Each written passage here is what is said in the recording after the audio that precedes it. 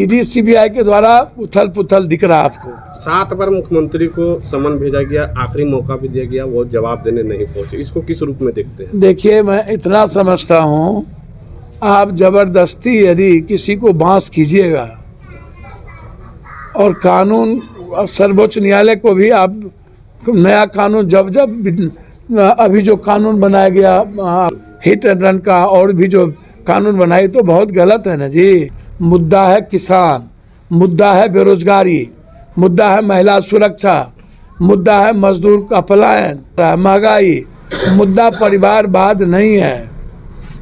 जिससे सुरक्षित लगता है वो करते हैं। अब ये सब मुद्दा ही कौन है?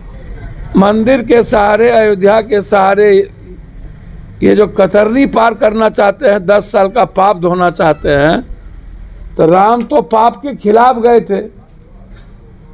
और राम तो नफरत के खिलाफ, और ये तो नफरत को बोझते हैं। तो इसीलिए इंडिया गठबंधन इस देश की स्वाभाविक गठबंधन है। ये 130 करोड़ लोगों की आवाज़ है, जो इकोनॉमी के रूप से खत्म हो चुकी है। मात्र दो व्यक्ति का इकोनॉमी इस हिंदुस्तान में चल रहा है, एक अदानी जी जो कोरोना में भी चार गुना ज़्यादा उन्होंने बेनिफिट लिया और दूसरा अमित शाह जी की कंपनी राम के भरोसे, अब राजनीतिक नौटंकी भी मंदिर की राम के भरोसे होगी, ये नहीं चलेगा।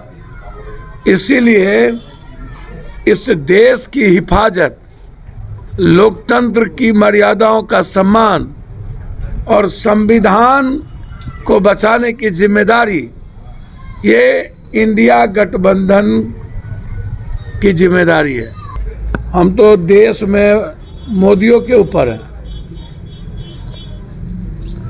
जितना मोदी जी लोग लूटते हैं, हम उतना डेली बांटते हैं।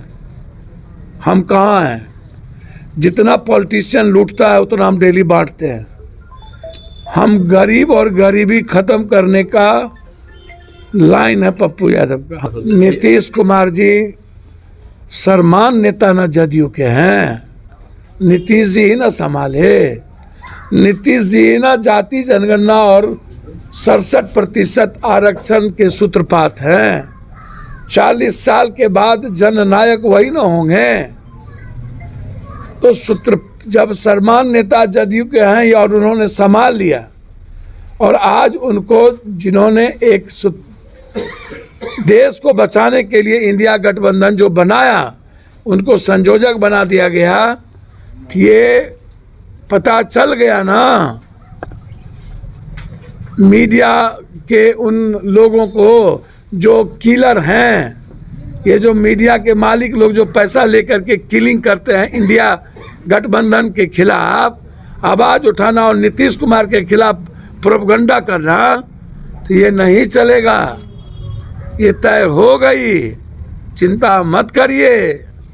और अब बिहार से, झारखंड और बंगाल से, यहीं से बीजेपी की सरकार को रोक दी जाएगी। और झारखंड का जो संकट है वो है जो मूलवासी जो आदिवासी, जिसको लेके झारखंड का बंटवारा हुआ, जो हम लोग नहीं चाहते थे। यदि हुआ तो आज उसकी आर्थिक और शैक्षणिक, सामाजिक, राजनीतिक स्थिति बहुत नीचे है। तो हमारी जो जो जो लोग वंचित हैं, गरीब हैं, और झारखंड को जो दुनिया का सबसे ज़्यादा जहाँ सोना है, जो दुनिया का सबसे ज़्यादा लोहा है, इस्पात है, कोई चीज़ की कमी नहीं है। उसके बावजूद हम दुनिया के सबसे ज़्यादा गरीब हैं और सामाजिक रूप से हम कब से विपन्न हो चुके हैं और पूरा झारखंड राजनीति माफिया और और पदाधिकारियों के और पूंजीपतियों का एक चारागाह बन के रह गया है। पॉलिटिशियन उद्योगपति पूंजीपति माफिया और पॉलिटिशियन पदाधिकारी। खेल चार करोड़ नब्बे लाख वोट आया कांग्रेस को।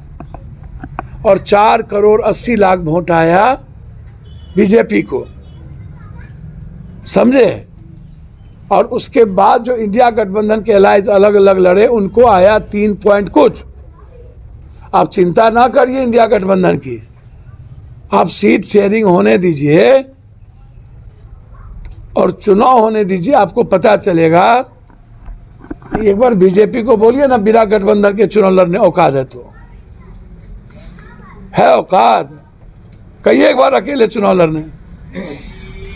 बहुत क्लियर हैं। अगर इस बार भी आप सत्ता में नहीं आए तो फिर क्या बोलेंगे? हम सत्ता में हम सत्ता के लिए कहाँ बात करें? ये तो ये मैं कुछ तो ये मैं तो भविष्यवाणी तो मैं करता नहीं हूँ।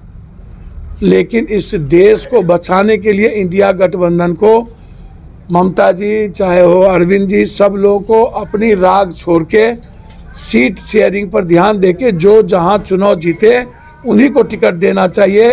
अपनों को टिकट देने में ये विधानसभा का चुनाव नहीं है।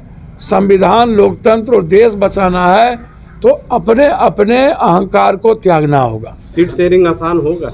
सर अपने अपने अहंकार को त्यागना होगा। भाई बीजेपी हमेशा ईडी सीबीआई के द्वारा उथल पुथल करती रहती है। इनका इस्तेमाल चलता रहता है ये करती रहती है। आप चिंता ना करिए। जितना बीजेपी बीजेपी में उथल पुथल नहीं है। यहाँ सरकार अस्थिर की स्थिति में बन चुकी है। भैया बेफिक्र है पॉलिटिकल जो आज क्राइसिस है वो देश में है सिर्फ़ यही नहीं है। और यहाँ पर